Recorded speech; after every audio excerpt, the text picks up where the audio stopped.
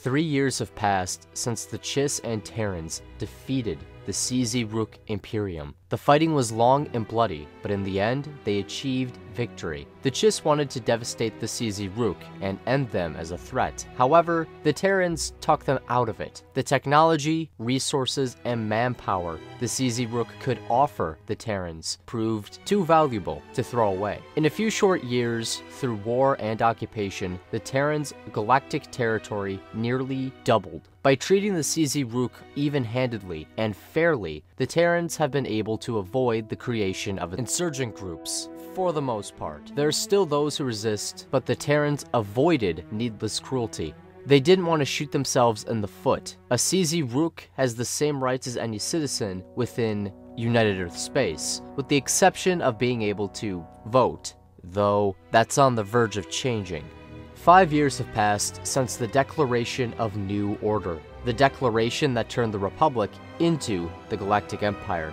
Since then, aliens avoiding the persecution of the Empire, as well as looking for a better life after the destruction of their home during the Clone Wars, have flocked to Earth space. Earth's rapid colonization has resulted in the young civilization needing people, be it to establish new colonies or settle pre existing ones. The recent rapid and no ending in sight immigration has resulted in many of the large colonies feeling unrepresented within the New Earth government. Understanding what taxation without representation can do to a civilization, the United Earth begins to reorganize into an intergalactic government instead of an interplanetary one. In the years fighting with the Terrans and aiding them in stabilizing the occupied Ssi-Ruuk Imperium, Thrawn began to believe they might be the best choice in the galaxy to challenge the Far Outsiders once they arrived. He believed that wiping out the Ssi-Ruuk would have been the safest option. However, the pragmatism behind the Terrans' choice made sense. They need resources and people. The Rook's strange technology was also a bonus. During the war, Thrawn's command of the Cerberus became the stuff of legend. His tactics and sheer intelligence brought the Terrans victory when they were in the jaws of defeat. Information about Thrawn's ability reached the ears of Emperor Palpatine. As the third year of the Imperium's occupation ended, Thrawn was given two offers mutually exclusive to one another. The day United Earth was reorganized into the Outer Republic, a name Thrawn found humorous in a roundabout way. The Terrans had a knack for sending clear but muddied messages. Palpatine's offer was still fresh in his mind a captaincy aboard a Star Destroyer and aid in defeating the Far Outsiders. However, Admiral Hackett, Admiral Anderson, Admiral Janeway, and Admiral motherfucking Sisko approached Thrawn immediately after the formal declaration of Republic. They offered him the position of Admiral of the Third Fleet within the newly structured Outer Republic military. Similar to the High Admirals of the Empire, the five Admirals of the Outer Republic would wield tremendous amounts of power. Each fleet had a purpose. The first fleet was to defend Earth, as well as her inner colonies. The second, to defend the mid to outer colonies. The fourth was tasked with peacekeeping operations in the larger parts of the unknown regions, while the fifth was the first responders to a crisis, the first responders to war. The third, however, would be tasked with expanding the Outer Republic through whatever means the Admiral deemed correct, with the exception of war with a galactic civilization. The Admirals offered this position to Thrawn because of his brilliance at command, but also because of his darker nature. The Outer Republic was aware of what he had done to land himself in exile. He was cold and calculating, as well as charismatic and diplomatic. He was the right man for the job. There were races and civilizations that were small within the unknown regions. If they could be brought into the Outer Republic, they would be stronger when the war with the Empire came.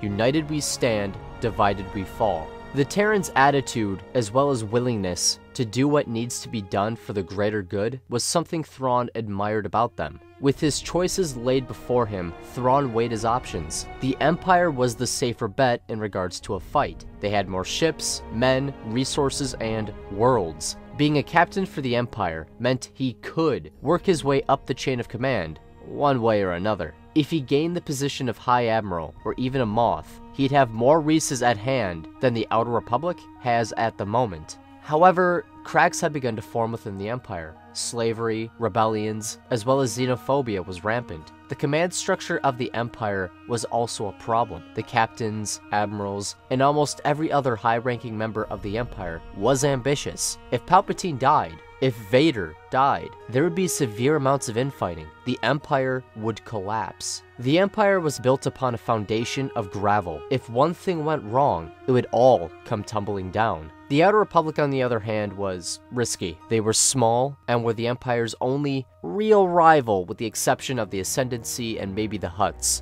Other civilizations existed, this is true, but they didn't actively challenge the Empire. However, unlike the Empire, the Outer Republic was stable. The issues presented by the colonies were addressed before a rebellion was even thought of. The officers are veterans of past conflicts. They want to ensure their people and the refugees who flee the Empire are safe. The Terrans have an understanding of the greater good, of the common good. They know that hard decisions have to be made. However, they also understand that needless cruelty will cause more harm than good. Sometimes compromises have to be reached. The Empire or the Outer Republic? That was Thrawn's decision. While contemplating the choice, trying to see it from every angle, he thought back to the Terrans fighting alongside the Chiss. They fought and died for a people they hardly knew. Their choice was pragmatic to be sure, Hackett said so himself. However, Thrawn still couldn't help but appreciate what they had done. The Outer Republic had the ability to become something great. All they lacked was experience and time. The Empire was something great, but cracks were forming. Thrawn pulled out an old Earth coin from his pocket. On the front was a general from the nation of America. Thrawn came to learn that he became the leader of the nation once it was independent. On the back was a bird, an eagle it was called. Placing the coin on top of his pointer finger and thumb, Thrawn flipped it. He left the room before it landed. Entering the meeting room, Thrawn accepted the position of Admiral of the Third Fleet. Before the other admirals could speak, Thrawn interrupted and continued. He warned everyone in the room about the far outsiders and stated they were more of a threat than the Empire. The admirals learned everything Thrawn knew, and the information was passed to officials within the Outer Republic.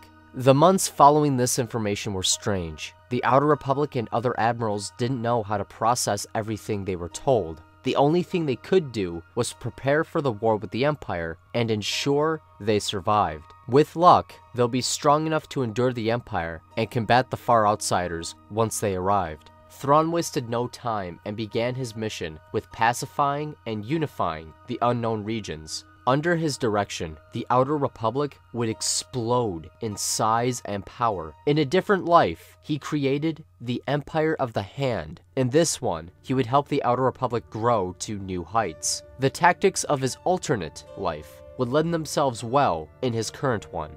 From his personal fortress world of Nirauan, Thrawn would oversee the developing civilization while he prepared for the wars to come. The years leading up to the Galactic Civil War would play out in much the same way as they would without Thrawn. The Outer Republic would continue to build, prepare, and scheme against the Empire. The major difference being, however, is the work of Thrawn. Within 15 years, the sheer size and power of the Outer Republic eclipsed their expectations, and it shocked the Empire. At first, many races who were still independent and lived near or in the unknown regions were hesitant to join. However, Thrawn was able to guide the needle of diplomacy, one way or another, and convinced some to join.